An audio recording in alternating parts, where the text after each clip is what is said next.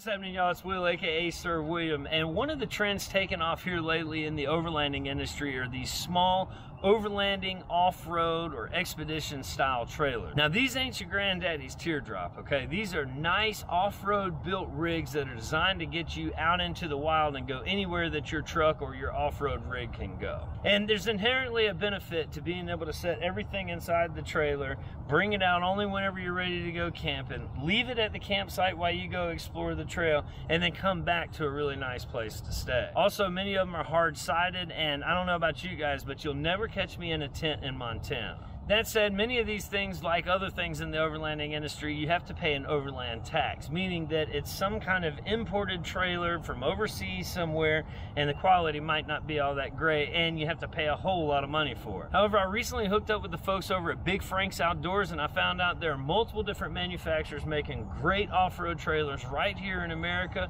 at price ranges for any budget. One of those places is High Altitude Trailers. They make one-piece fiberglass off-road trailers out in Colorado Colorado, and I had a chance to go through their factory, and I wanted to take you guys with me. Today, I'm in Sedalia, Colorado, the home of high altitude trailers, where they're making really cool one-piece fiberglass off-road and expedition trailers. Let's go check them out.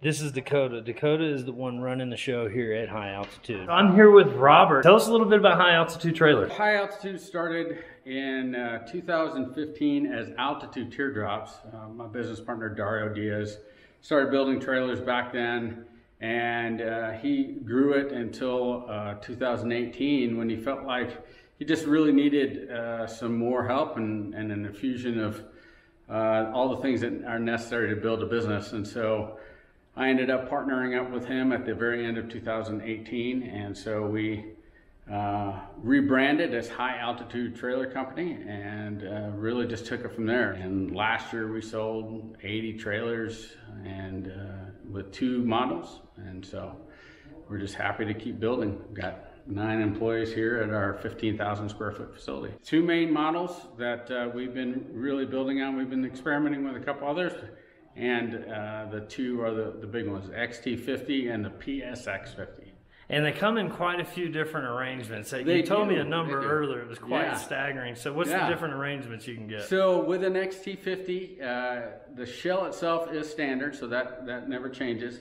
Uh, however, we offer so many different uh, options to the trailer. It's about five and a half million variations of a trailer, so you can really make it your own. Pick your own color. You can uh, add a air conditioner if you want, a rooftop tent uh, hot water heater, all sorts of fun different things to make it really your own. So when you get out there and really be able to get back to the wild, which is what we're really trying to do is provide a product that allows you to get out there, go anywhere and do anything and experience adventure again, really experience the wild uh, where up to now, you really can't take your trailer where your truck can go. So now we want you to be able to do that. Well, you guys got a really cool operation here. Everybody's in house. Pretty much the whole thing is made here in house. So it is. Take us through the back here and let's see All how right. these things are made. This is a XT50 in process. So this is our standard shell. It is a fiberglass foam core composite shell, one piece. It comes in two, and we seal it together with a, an adhesive called methyl methacrylate and it ultimately makes the seam stronger than the shell itself. So it is one piece. You got an inch and a half of insulation all the way around once it's built. Uh, it's uh, on top. You can see this is a spray bed liner on here, so that rocks or anything else that's flying off your truck are not going to damage your trailer at all. Auto body paint on the outside of the trailer, so that gives you a really nice finish on there. Once it's it's mounted to our shell, you can see we have a fiberglass foam core composite board on the floor, so you have insulation on the flooring as well. Once that's in place, then we start installing the additional insulation as well as the hard flooring. And then walls go in place, cabinetry goes in place, and then we finish out the build out. Tons of different exterior options on our trailers. So it's really how you want to make it. We have uh, eight standard colors that are an option for people to pick from, and most people like them. Uh, every once in a while, for example, we have on this trailer right here, it's a Rivian yellow. Uh, matches up with the Rivian truck that is going to be towing it. Oh, that'd so be cool. they wanted a color match, and so we did that for them. So we can really do anything on the color that you want. We've even done some wraps uh, if you really want to wrap. This one's got some extra options on there. I see a rooftop tent up here. Yes. I see a really nice uh, AC in there, which you need in the south. So, So yeah, this is a Dometic RTX 1000, 12 volt AC, so it runs off our 12 volt system in here. You don't actually have to be at a campground to use your air conditioner. It runs off our uh, standard solar panel that's on on every trailer, as well as a lithium battery that's in every trailer as well. wait, so you've got your own power system? I don't have to run to an RV park and plug it in? Absolutely not. As long as you're not in uh, in the dark for uh, several days, you're you're going to be good to go. We've tested this uh, running it out full max and uh, 18 hours straight. Still didn't drain the battery because the solar panels were providing enough juice. We do the ZAMP panels that we have on top have an additional port. So if you really feel like you're going to be someplace where okay, it's going to be a bit more cloudy, you can get a portable panel and add to the bank and get just that much more juice com- coming in. Um, so in, interior work here, this is a standard cabin build with our cabinetry inside. It's a maple cabinet grade plywood, as well as uh, we offer a walnut grade. You can see the hardwood floor is in here, um, power, everything you need to uh, hang out and enjoy your time. We have a uh, trifold mattress, so when you get to camp, uh, you can unfold it and have a nice time. If you're stuck in weather, you can fold it back up, make it into a couch, and chill out on the inside, as well as tuck it up underneath the cabinetry when you're traveling.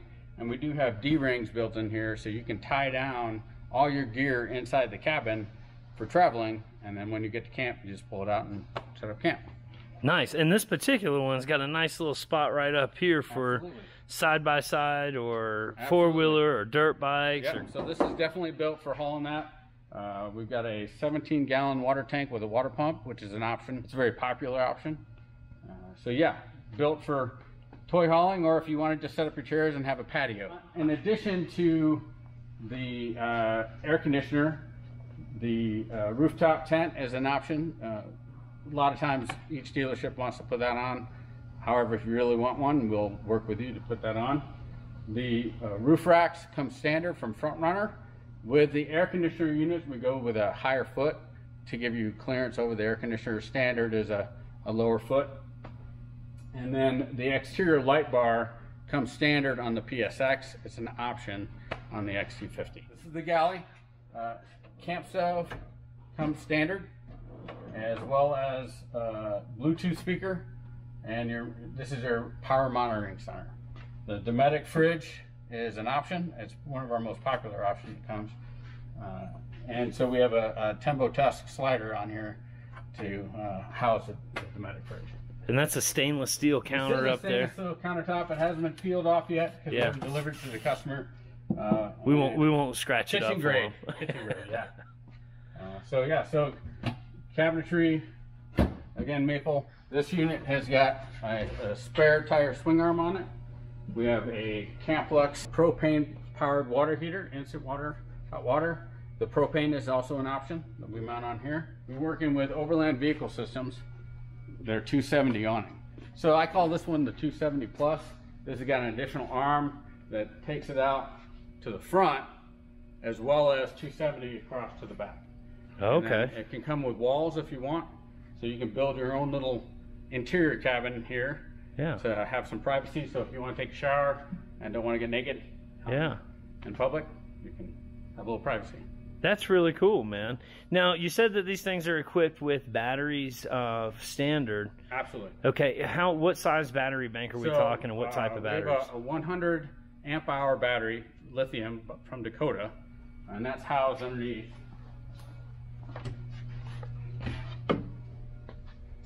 Okay. center. And they all come standard with 100 amp hours? All come standard. And you can upgrade that if you wanted to or Yes, so you can add an additional battery, uh, add additional panels if you want. Uh, so far, we have yet to see where somebody's run out of juice uh, with the 100 amp with hour. 100 amp. Yeah, Even with the fridge or I mean um, the AC. even with the AC, Man, that's super efficient. Yes, it is. Okay. That Dometic, because again, you got to remember we have an inch and a half of insulation all the way around the trailer. Mm. So once that gets to temperature, as long as you're not constantly going in and out of the trailer, it's going to stay in eco mode and barely draw any power at all. So you you start start it up right before you go to bed. Let it cool down the trailer while you still got a little bit of sun left, and then it'll go into eco mode and it'll keep it frigid in there all night long. And I noticed you got windows on the doors that also mm-hmm. open too, yeah. so you can get ventilation Absolutely. if you wanted to. But man, I tell you, with a super efficient AC system on your trailer, I'd just rather pump the AC. yeah, exactly. now, does that work as a heater too, or no? Just just a okay air conditioner. We do offer a diesel heater option. Okay. Um, again, uh, we've put that on a couple people who have lived up in the Northwest and and go skiing every weekend and stay out, out of the trailer for skiing weekends. Yeah. Um, I know I have slept in one of our older demos uh, at down to 10 degree, negative 10 degrees without a heater system and my biggest challenge was getting up going to the bathroom. Well, now this one is obviously kind of a, a special deal. So this is a double axle. It's going to use a solid axle, but you guys use a couple different types have, of axles. Yes, we have two main uh, choices for axles. So we have a solid 3,500 pound Rockwell leaf spring axle, and then a 3,500 pound HD Timbren axle for independent suspension, if that's what you choose. We have 31 inch tires or 33 inch tires on the XT50, so really make it look like you want. Again, we have a customer in here that has uh, custom wheels, wants to match his truck. We can do that too, as long as the wheel spacing allows it. One of the cool things I like about the high altitude trailer is the fact that it is that one piece, which is going to eliminate a lot of the faults that you have with uh, standard, you know, teardrop or uh, RV style trailer. And the other thing that I really like about high altitude trailers you guys are making it all here. So you guys are. are. making the chassis included, which a lot of companies don't do, and they kind of skip out on that. If I wanted a high altitude trailer and I contact Big Frank's Outdoors, get an order put in, take me through the process of what happens after that. Okay.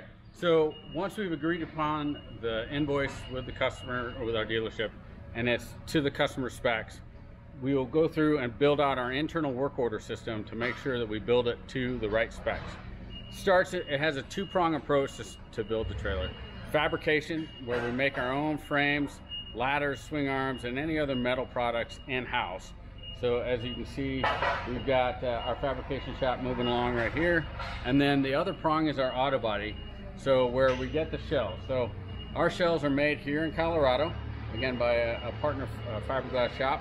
They come in two halves and then we marry them together and uh, build them out. We prep them for paint, we prep them for body, uh, the bed liner spray, and then uh, have them ready. Once the proper frame is built and the proper shell is built, they marry up together in the assembly operation and move forward from there.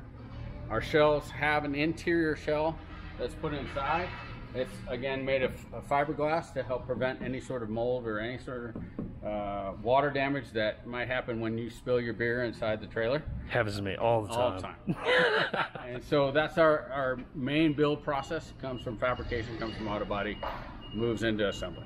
And it's all here in house. All right here. And you said how many employees are involved? So right now we've got nine employees. We're looking to grow. Uh, we're definitely seeking a few more to help us build out. Man, that's awesome. Now I want to take one of these things out and put it Absolutely. through its paces. Thanks for showing us around, Robert. Yeah, cool. Dude, those high altitude trailers are legit, right? For more information on high altitude trailers or other off-road and expedition trailers, be sure to hit up Big Frank's Outdoors. He's got you covered whether or not you're on the East Coast, West Coast, or anywhere in between. I really appreciate you guys watching this video. I hope that you enjoyed it. If you did, be sure to hit that thumbs up button. Hit the subscribe button if you want to follow my adventures. And until next time, you guys keep hanging in there like a hair on a biscuit. And remember, you can be happy if you've a mind to. Peace, y'all.